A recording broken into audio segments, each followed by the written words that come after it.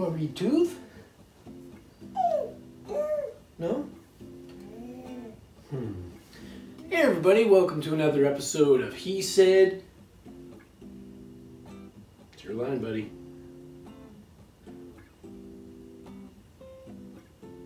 Goo said. I'm Marty, and this is my co host Henry. He's also my son. Uh, today we're going to read a really quick book because, once again, I don't have any time, so let's get to it. We're going to read a book called The Babies and Doggies Book by John and Molly. Okay, ready? Let's read it. A lot of things babies do, doggies do too.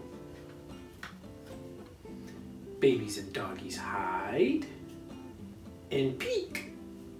Hide and peek. Babies and doggies like to eat.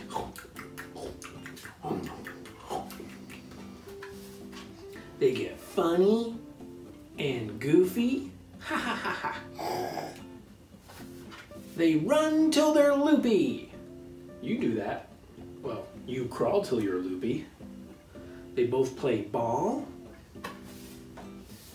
And they both sit tall. Oh, look at those funny doggies. Babies and doggies stop to sniff.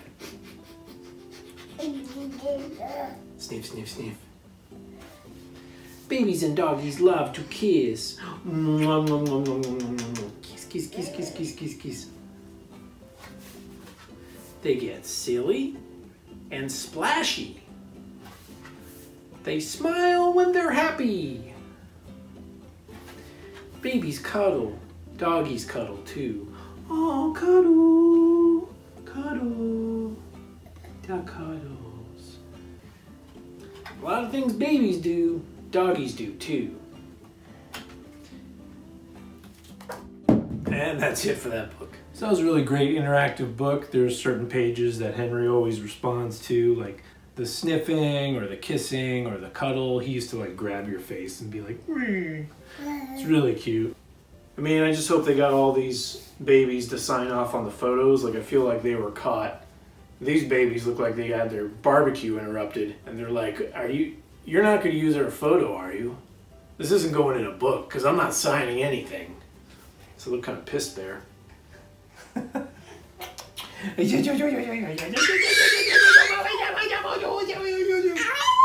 I know, I know. You say daddy? All right, that's been our episode. Please subscribe, share, like, comment on Henry's awesome hair growth, and we'll see you next week.